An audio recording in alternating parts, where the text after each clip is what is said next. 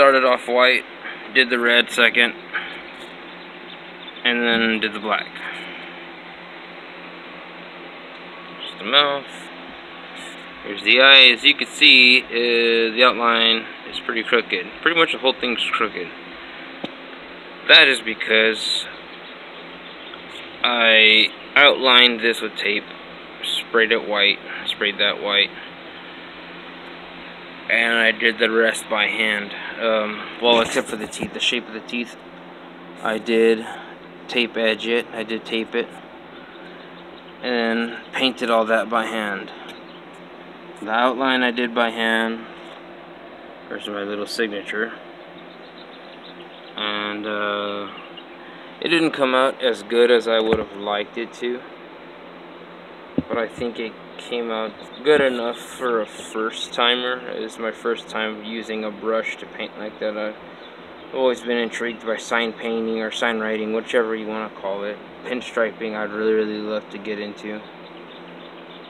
But as you can tell, as of now, my hand is not stable enough. Nowhere near stable or sturdy, whichever you call that. I don't, I can't really think right now. It's like 105 outside right now, and it's hot as balls.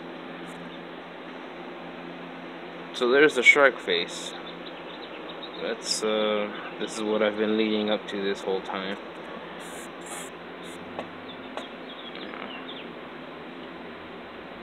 There's a little bit of red on the holes right there. That's not going to show. I just put it there because that was bare metal and it was going to bother me since it was going to be um, exposed bare metal and underneath underneath the the front latch there. I did it to the sides and the back wherever I hinge your handle's going to be wherever. But anywho, I did this um, turns out I really didn't need to do it because I forgot I'm going to clear it so you know the metal's not going to be rusting or anything. Well that's what I've been doing. I did the P40 Warhawk. I guess you can call it a shark mouth. They call them flying tigers. It doesn't look like a tiger mouth. I don't know.